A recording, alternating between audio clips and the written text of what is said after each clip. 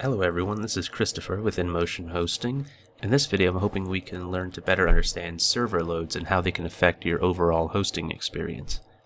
Over the course of understanding server load, we will want to better understand monitored services, services that our system administrators watch closely. Unless you have a VPS or a dedicated hosting server, our systems team monitors services constantly, all day, every day, to make sure that all customers on a shared server have fair access to the system resources. Specifically, our system admins are keeping an eye on CPU load and usage, memory usage, and data transfer usage. We will discuss each of these in more detail in this video. First, we'll talk about CPU load. When you imagine a server, you may visualize a field of clouds suspended in the datasphere, limitless wireless information available for immediate download anywhere in the world. This does not accurately represent what a server is, though. Servers are just computers, usually a bunch of computers linked together in a big building. When you pull up your domain name in a browser, the request goes to a computer, and the computer crunches some data to generate the site. However, there are many factors that can affect this. One of the factors is CPU load. You can think of load as how hard the CPU is working. For example, most sites use PHP, one of the most common and popular scripting languages on the web. You can use PHP code to dynamically generate a website, but how the site is coded can vary enormously in its efficiency.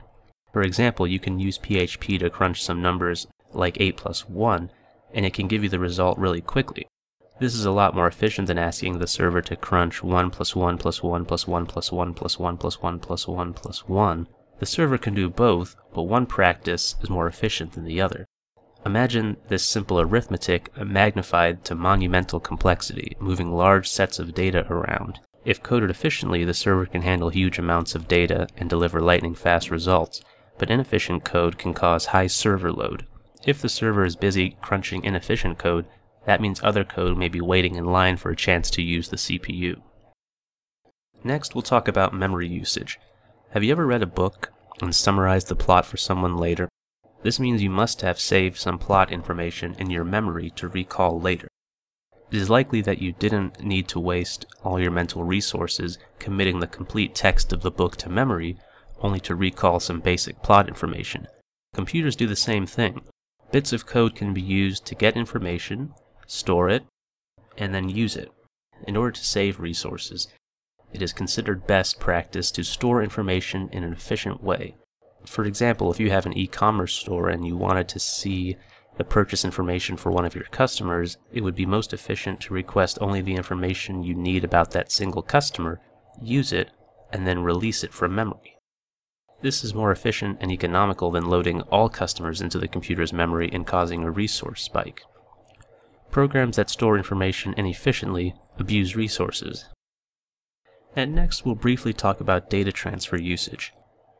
Data transfer is the amount of data your server uses, usually measured each month. Overall, it's the measure of how much data is going to and from your server to a person requesting information. At InMotion, we monitor data usage to make sure customers all have fair access to resources and no one customer is hogging all the data. We hope this helps demystify the concepts of server load and server monitoring. If you have any questions or comments, feel free to drop them below, and make sure to visit the InMotion Hosting Support Center for articles, updates, and tutorials. Thanks for watching.